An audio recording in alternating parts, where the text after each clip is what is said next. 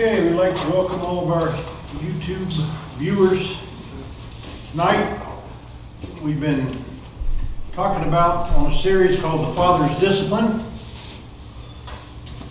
Fatherhood principle is that God disciplines, corrects, trains, reproves, reprimands, whatever he needs to do those whom he loves. How many uh, know you're loved by God? Well, if you're loved by God and a true father, he's going to discipline you. You might not like it, it might not feel good, but he will discipline you. And he will develop us, mature us, do everything he can to grow us up beyond the elementary into the deeper things of God. So one of the things we talked about last week uh, that is a kind of a requirement prerequisite or whatever to, to be able to embrace the Father's discipline is we have to have a teachable spirit, don't we? Teachable spirit is a spirit that is open to receive, doesn't take correction as rejection, is not a know-it-all. How many of you know what a know-it-all is? We were kids, we used to run around and say, you're a know-it-all, you're a know-it-all. It's not a person that's arrived, but it's a person that knows that they've got things to learn. They also know that they'll always have things to learn, that they've never arrived. There's a type of uh, part of them that's very humble, it's approachable, it's a good listener, and uh, has a has a sense of uh, of wisdom about him, where he realizes and knows that he knows that you know that if I'm going to grow and I'm going to change and I'm going to learn and I'm going to I'm going to have to be teachable. That means I'm going to have to be open-minded to allowing people to speak into my life the truth. And with that, he knows that he not only will get get be wise, but he'll get wiser and he'll listen and he'll learn and he'll grow and he'll get even smarter and more wiser. Amen. Amen. So tonight I want to talk about the spirit of humility. This is kind of a sort of a part two, but it kind of complements and goes hand in hand. I didn't know whether to teach on the spirit of pride or the spirit of humility. But we know we know about pride, don't we? Yeah. I mean, you know, pride comes before fall. One of our biggest problems in our recovery is that prideful, haughty, arrogant, arrived, self-righteous, religious spirit that, uh, you know, thinks he knows it all. And whenever we think we've arrived, then watch out. Pride is a, comes before destruction. It's a prelude. Whenever we get prideful, forget where we come from, it's just a matter of time before we relapse. Corinthians also says, says, uh, let he who uh, thinks he stand take heed lest he fall. Listen that. Let, let he who, st- who stands, let that person think that stands, that's arrived, that's learned everything. Be careful because you're getting ready to get knocked off your high horse. I don't know about you, but I, I don't want to get knocked off my high horse. I'd rather politely, calmly get off my high horse and humble myself. but the spirit of humility is, is, uh, is about true humility. It's a spirit, it's an attitude. I mean, no attitude is a choice. Despite what's going on around me, the last of all human rights is the ability for me to choose my own attitude in any given situation. No one can steal my joy, no one can choose my attitude. Bad things can happen, but either way, I don't have to let another person's reactions or what their attitudes cause my, me to have a bad attitude. One of the characteristics and the character qualities of all great saints, of all true men of God, is they, they walk, they walk in a spirit of humility. They, they walk in true humility. It's not a false humility. It's a genuine, real deal humility uh, that comes from the heart. It realizes, uh, you know, uh, when they get prideful, when they get arrogant. How, how you know we're all going to get prideful? I mean, that's just we're just those kinds of people. We're going to get prideful. We're going to get arrogant. We're going to get haughty-minded. We're going to get too big for our britches. We're going to think there's going to be times when we get self-righteous. And, and that's okay. But the key is when that happens is, is, is to realize that And instead of allowing the spirit of pride to take over us, we, we choose to shift to a spirit of humility, of brokenness. We, we make ourselves low. We humble ourselves under the mighty hand of God. And we let the spirit of humility dictate rather than the spirit of pride dictate. We have a choice. We can, we can dictate to that pride or it can dictate to us. And but like I say, a true character quality of truly, truly godly men is they have a teachable spirit. And they walk. There's a habit, there's a lifestyle, there's a practice, a way about their life that they recognize when they're getting where, and they immediately catch themselves, step back, and they humble themselves, and they bring God back into the center of it. And it's it's not just it's not a one time or two time event. It's a lifestyle. It's a habit of, of walking with God. It's something that we're going to have to, if we're going to grow and we're going to mature, we're going to develop, we're going to have to be teachable and we're going to have to be humble. We're going to have to walk with a spirit and an attitude of humility. Humility is the word, I'm not even going to try to pronounce it. It means to be humble or lowliness of mind. Refers to lowliness of, of, an attitude. It's a self abasement. Self means it's a choice where we abase ourselves the word actually means to make low. The actual dictionary says it's a state of being humble or an act of humility of, of making one's low. in other words, it's a it's, it's a character quality habit where you recognize when you get high-minded and haughty and that kind of spirit and you choose to, to make yourself low. You recognize it and you make here. That, that's what humility is all about. It's a choice. Luke 14, 11 says that everyone Everyone. How many know you, you're everyone?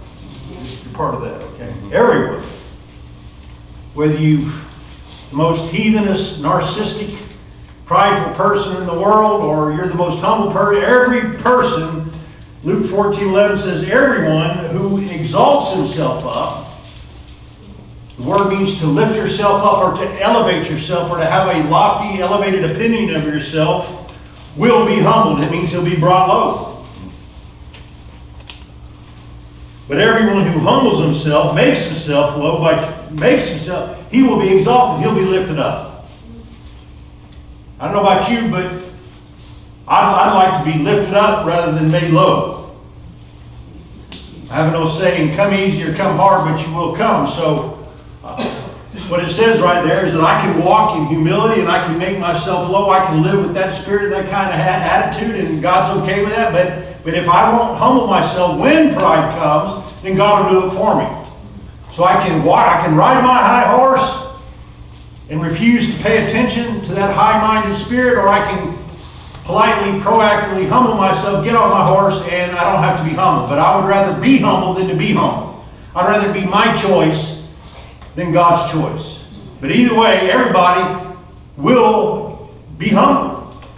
So we have a choice. We can be humble or be humble. Amen? Amen. Turn with me tonight to Philippians chapter 2, 1 through 8.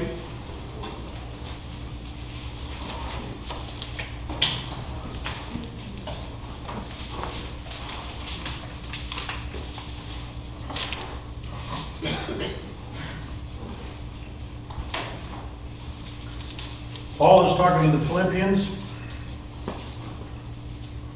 He says, Therefore, if, if there is any encouragement in Christ,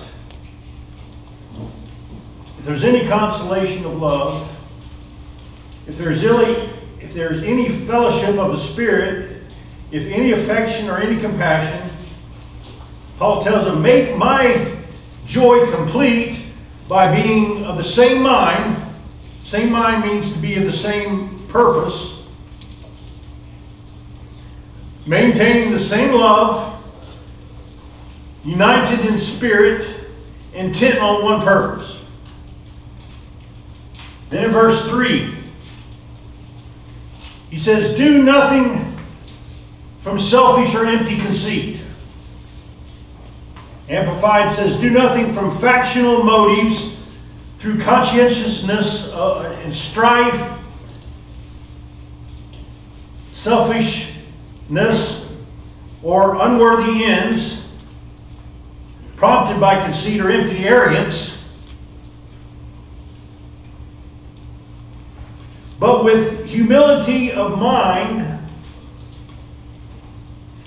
regard one another as more important than yourselves the Amplified says, instead, have a spirit of humility or true humility, a lowliness of mind. Let each of you regard others as better than and superior to himself, not thinking more highly thinking more highly of one another than you do your own selves. do not merely look out for your own personal interests. Don't esteem and look upon and be concerned merely for your own interests, but also for the interest of others. Whereas don't, don't, don't all the time be looking out for your own rear end. How can I say that tonight? There's nothing wrong with our own interest. I mean, you know, we've got to be concerned with our own interests. But, it, but my own interest, my own wealth, and my own well-being should never be at the expense of, of caring about everybody else's interests. Are you with me?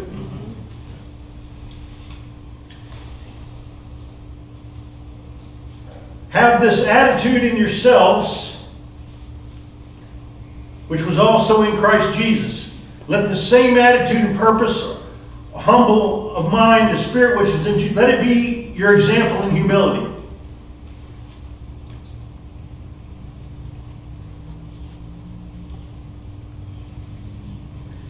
I mean, you know, if, if we just practiced, if we just practiced that right there. I mean, you know, that, you know, I haven't heard that word in a long time, conceited. It used to be big back when I was in high school. That person's so conceited. That means they're so arrogant, they're so full of themselves what Paul's saying, right? Don't, don't be conceited. Don't get so self-absorbed. Don't become so narcissistic, so caught up in your own little world that you forget about everybody else. Don't esteem yourself, but esteem, consider, he says, consider other people more highly than yourselves. Esteem them. Hold them higher. Consider them superior to you. I mean, you know, that right there would change the whole world right there. Just think of right now in this world. I mean, you know, we've been in this pandemic, and you go to Walmart, and people are fighting over toilet paper. Black Friday, they're fighting over black or screen TVs, flat screen TVs. I mean, you know, it, it, gets really nasty and ugly out there.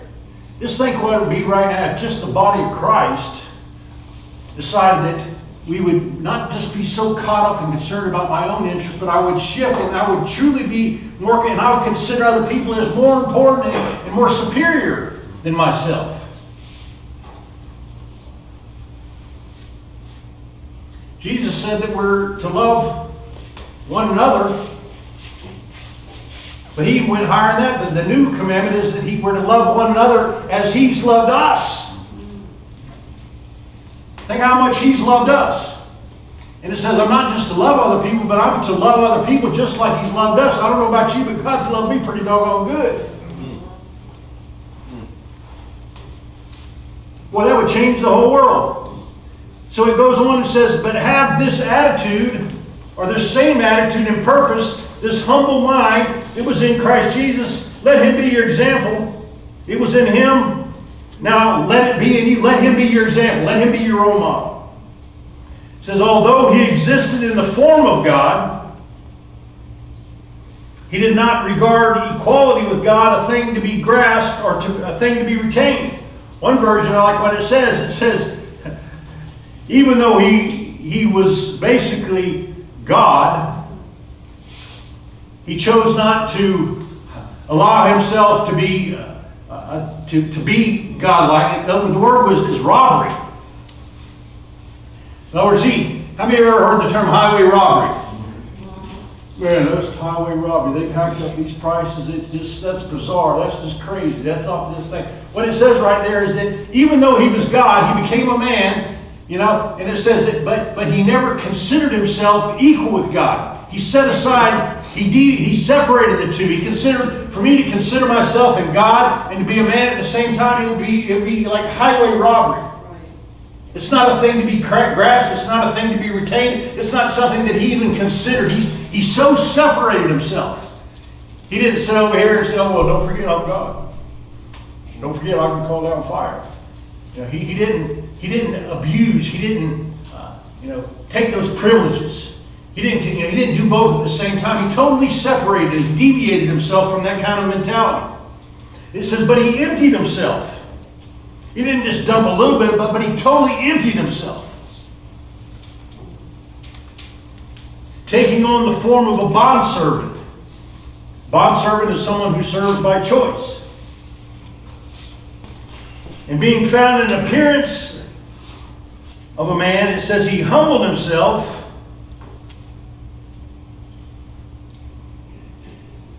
by becoming obedient to the point of death, even death on the cross. The Amplified says that he, even though he appeared in human form and he abased and he humbled himself, he chose to make himself low. He brought himself low.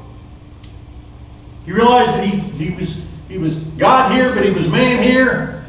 And he separated the two, and it says in light of that, he went even further and he chose to totally humble himself or humiliate himself, make himself so low, even to the extreme point of dying on a cross. I want you to just think about this. Here, God is in heaven, the creator of the universe. We don't know where he came from, how he got, what's going on. He's with the Trinity. As far as we know, he, always was, always is, and you know, we don't know where he came from. That, that in itself can, can I can't even wrap my mind around that. Where did God come from? Well, he's always was. Well, I understand, but where did he come from? He always was. He always is. He was. I know, but where did he? Come? I can't. He had to start somewhere, but he, he was always there. I mean, there was no pandemic virus. There was no nervous system. There was no mosquitoes. There was no sweat. There, I mean, whatever it was, he, he lived in paradise. He created paradise. He created the galaxies. He sat around just creating the moon and the stars, and you know. And because it was great love, because of his great love with which he loved us, he wanted to express that love, so he, he became a man. He created, first of all, he created he created man in his image, and they sinned against him. But then, even after they sinned him against him, it said that he chose to, to leave himself, his godlike being in heaven, and he became the Son, and he lived a, a sinless life. They spit on him and called him a liar and abused him, and then they nailed him to a cross. That's amazing. And think about that. Mark says, even Mark 10 says, even the Son of Man did not come to be served, but to serve and to give his life a ransom for many. The Son of Man, Jesus did not come to be served, but to serve and to give his life a ransom for many. So what it says right there, Jesus, Jesus came not to be first, but to be last. He didn't come saying, I'm God, look at me, and bask in all the personal glory. Even though he was God, he had every right to do that, but he chose not. He laid all that aside, and he chose to go to the back of the line and help everybody catch, you know, catch up. He could have busted through the ticker tape first, but no, he chose to come back and say, help the lowly, help the people. He chose to humble himself. To give his life as a ransom for many to be example. And then they turn around and nailed him to the cross.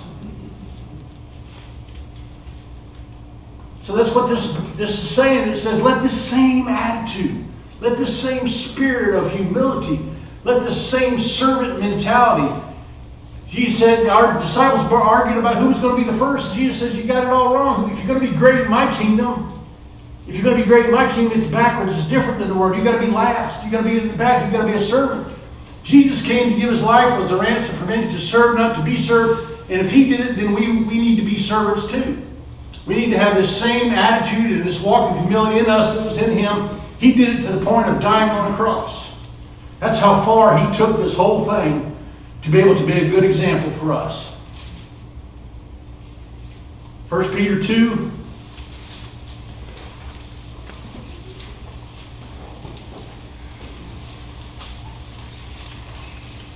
Twenty-one.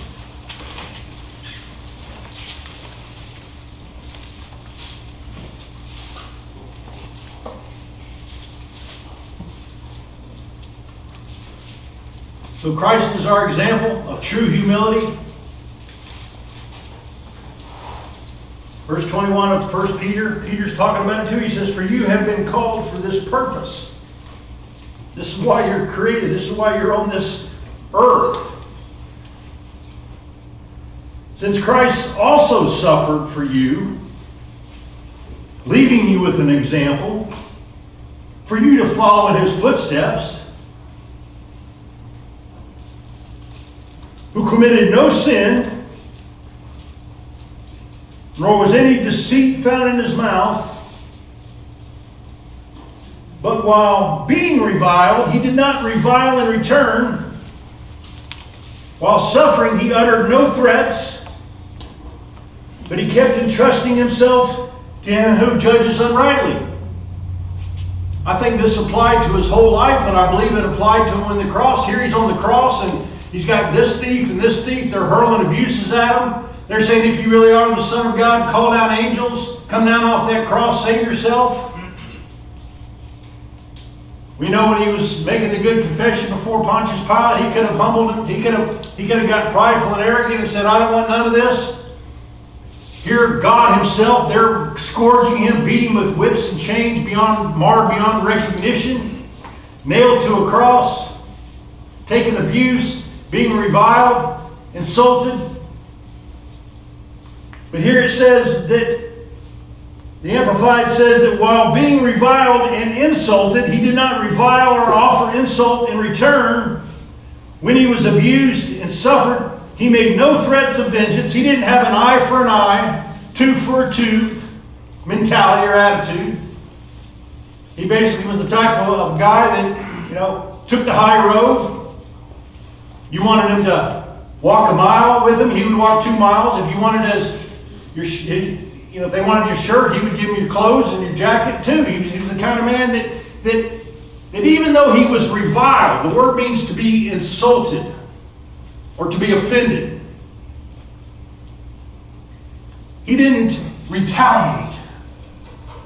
He didn't have a vengeance, Lord. He didn't call down fire. He didn't have an attitude that says, I'll get you.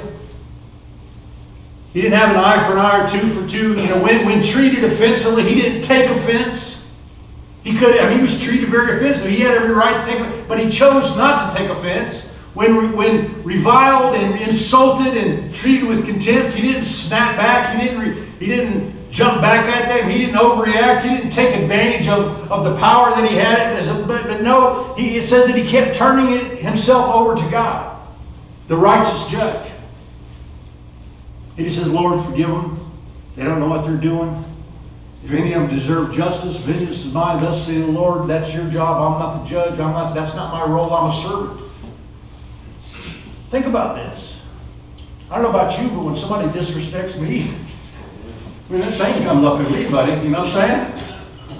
When someone wants to correct me, I mean, I'll be honest, as, as hard as I work on this, man, there's still that thing in me that when someone wants to, when you want to insult me, I'll, you know, I'm going to insult you back. You want to fight, then I'll fight you back. You want to you want to you want to play that game, and you know there's that there's that attitude, there's that mentality that, that we fight, you know, and we don't want to fight, we want to fight, buddy. The game's on. But Jesus, even though he went through all those things and he had every single right to, to, to, to show his, his, his, his godlike attributes and his character, he chose not to. He says he humbled himself. He turned it over to God and said, God, I love him. Whatever, it's none of my business. Lord, you take care of. You're the righteous judge. You judge fairly. It's none of my business. Well, wouldn't you like to be like that? Well, have that, have that attitude. Have that same attitude that was in Christ Jesus, who emptied himself, who separated himself. And, and so what I'm saying is right now, we got, we got to work hard at this thing. Jesus has given us an example. It says if he didn't do it, uh, then, then, then we don't have to do it. Luke 18, 9 through 14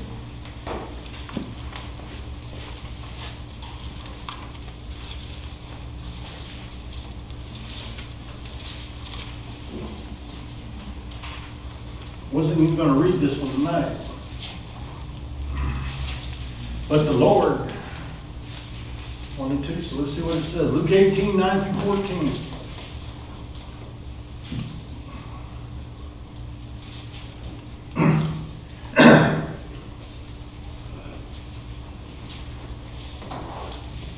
Jesus has been trying to minister, serve by ministering.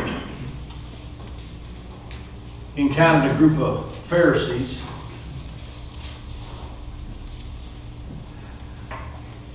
Religious representatives of that day that should have been the great role models, should be the examples. We know all about that. He called them hypocrites. And so anyway, he, he stops in the middle of all this head-to-head, the arrogance and the self-righteous, that religious spirit. Having that religious spirit is just absolutely, I want to gag. You'd be surprised at some of the letters Lance gets out of jail for jail letters. It's, you know, they, you just were in jail for what and what and what, and now your, your, your letters sound like you're ready to go to seminary, like, you know? I mean, it's amazing how quick they forget. Anyway, Jesus is going after that religious spirit, and he, he decides to tell them a parable. A parable is a an earthly story with a heavenly meaning. Jesus will take something down here and do a principle and, and run them alongside each other. Something heavenly at the same time. So he gives a little parable. What he's really doing is he's trying to, to teach the, the Pharisees how big their britches are gotten how they ain't all that, how they're hypocrites. So he goes and he told them a parable to some people who trusted in themselves. They were confident within themselves that they were righteous and they viewed others contempt. Righteous means to be justified and de declared in right standing. So here he's, he's, he's telling this par parable to expose this group of people that were, they thought they were righteous, they thought that they, righteous means to be justified and declared in right standing with God. It basically means to be saved and born again. But these, he tells this par parable to expose those who were trusting in themselves that they were righteous, which means it's not, it's not a righteousness that comes from God, it's a self-righteousness. It's a self-righteousness that's not righteous at all. It's that you're headed to hell. But he, but he was talking to these people that thought they were righteous, but they were self-righteous, and they were treating others with contempt. I you know what contempt is? Contempt is basically you're riding on your high horse and, you know, you, you're looking at everybody else and, you know, you see yourself up here, you see yourself arrived, you see yourself, I mean, you really, a self-righteous treating is a, is, a, a very deep narcissistic spirit where you don't just act that way, but you truly believe it. Treating with contempt, you say, what's wrong with these people? You know? You're riding on your high horse, you see everybody down here, and you really have that view of yourself. You know, you see yourself here and you treat these people with disdain. We know the Philistine giant came after David, and it says he treated him with disdain. That means he looked at him and said, You little kid, you coming at me with some rocks and slingshot, and, and you know, and, and, here I've got a javelin, and you come up throwing rocks and throwing things at me. He says, You know, you, get out of my way treating someone contented means you loathe them and you just say, look, you're not even worth my time. You're just a piece of garbage. And you know, and you're not you're not even someone that I even want to associate. Get get away from me. That's what that spirit is. Have you been around that spirit? So he says, two men went up into the temple to pray. Okay, you got to picture this thing, okay? It's the time, it's the prayer time. I was over in Israel, man, and I, you know, when, when, when it's time to pray, I mean, some people don't, but I mean, it's time to pray. There's certain times built in, and you know, it's amazing. Muslims do it right in the middle. They put out their little mat and do their little thing. And they go back to work and do it several times a day, I guess. But anyway, you got a picture these two guys are going to the temple. It's the hour to pray. One was a Pharisee, and the other tax collector. Pharisee walks in, and it says he stood ostentatiously that means arrogantly. Walking around like he's a banny rooster. Have you ever seen somebody walk around? Like that? You know? Says he was praying, I don't even know how to say that, ostentatiously, is that it? To himself, or uh, he's, he was praying within himself. That, that's real important right there. He's in the temple, supposed to be there to pray to God, but he's not even really praying to God. He's praying within himself. That means he's on his own mind, his own head, and he's, he's actually praying, but it's not really to God in any kind of, it, it's, it's ritual, it's habit. It's just prayers of, what do you call them, Butch? Rote, of tradition and just mechanical. He was like praying to himself. Can you imagine? He's probably walking around and everyone thinks he's praying in tongues or whatever back in that day. You know, really, he's just talking to himself, man. You know? So he walks around like a banty rooster all bowed up, pridefully praying. He says, I thank you that I am not like other people. I'm not a swindler. I'm not unjust. I'm not an adulterer. I'm not even like that tax collector guy right there next to me. I fast twice a week. I pay tithes of all I get. What's wrong with that picture already? Five eyes. I, I, I. Me, me, me. My, my, my. Gimme, gimme, gimme. My name is Jimmy, Jimmy, Jimmy. That's the problem with the whole world right there. Self-absorbed, selfish, self-centered, narcissistic world we live in. I, I, I. But the tax collector, so this guy's over here praying to himself, and he's thinking, man, I've tithe, I pay, I'm all good, I'm righteous, I'm understanding, me, you're all good, I got my little robes on, I'm all pretty, and I ain't like that guy, I ain't like that guy over there, I'm not like that guy. I got it all together, I've arrived. I've arrived. Everybody, look at me. And he's praying to himself. But the tax collector, standing some distance away, was unwilling to even lift his eyes to heaven, but was beating his breast, saying, God, be merciful to me, a sinner.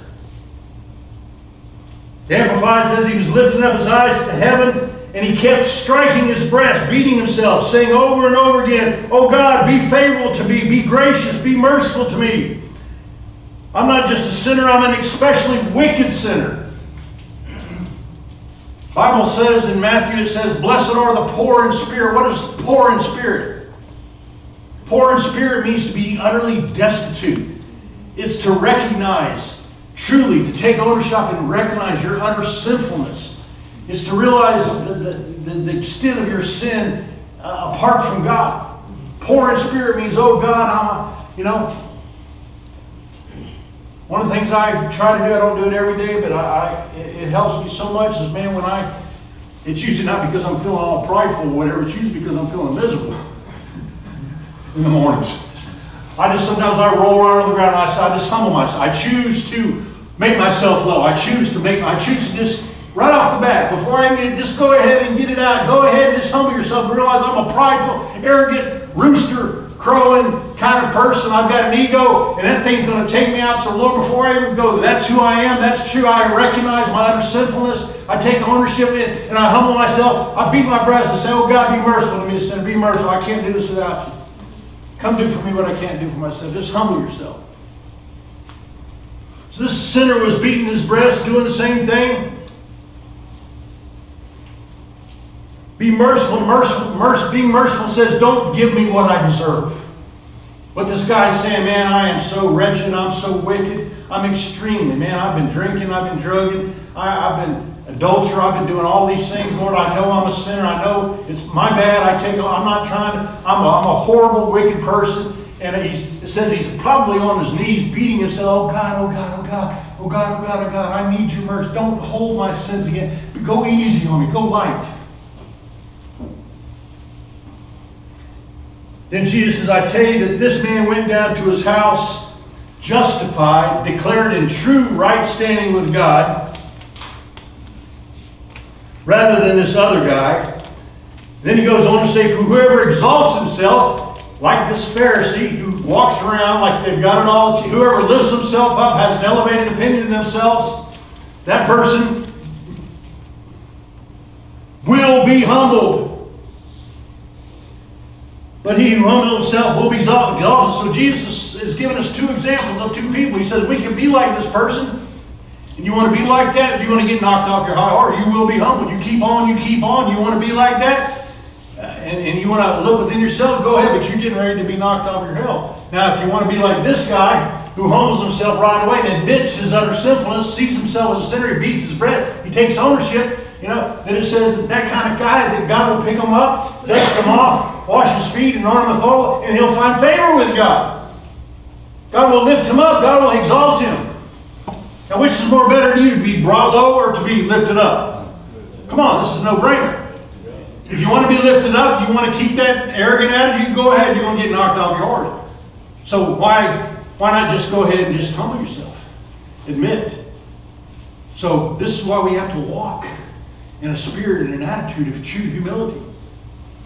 Now, true humility, there's two types of people that we're going to have to eliminate.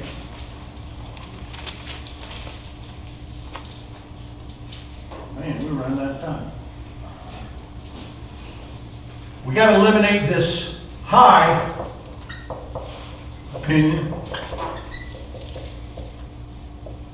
this elevated, lofty, arrogant person, that person that we like to think we are, that person that I'm trying to make everybody else, I think, and then hope, you know, okay.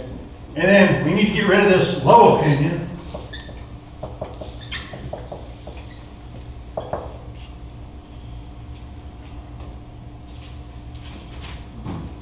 And that we're not talking about a false humility.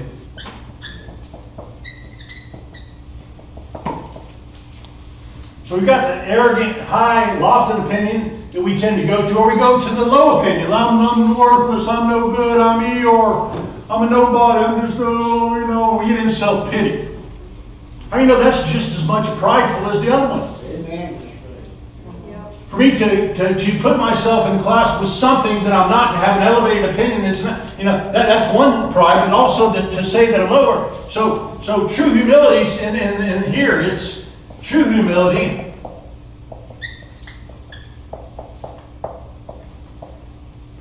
Is a true, honest evaluation or assessment of yourself.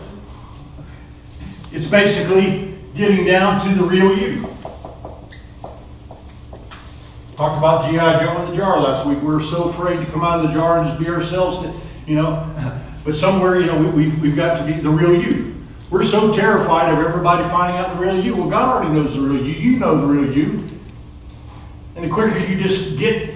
So true humility is being exactly who God says you are, no more, no less. It's not a false humility. It's just saying, hey, I am who I am. This is the way God made me. I'm not perfect. I'm this, I'm that. I take ownership. There's a lot of things I don't like about me, but I like me, and it's just, I'm not going to buy it. I'm just going to be, I'm just going to walk in who I really am and the true humility of, of the real person, of the real me. True humility is genuine, heartfelt, real deal, true humility. Being, being able to walk consistently with who you really are. I don't have to be the smartest, but I don't have to be the dumbest, I don't have to be the handsomest.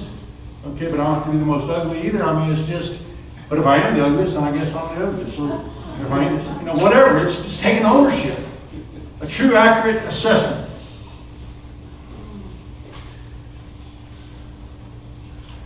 First Peter 5.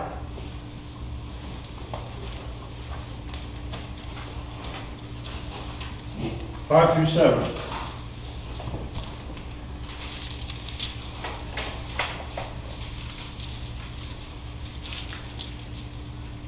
First Peter 5, 5 through 7. Y'all ready? You younger men.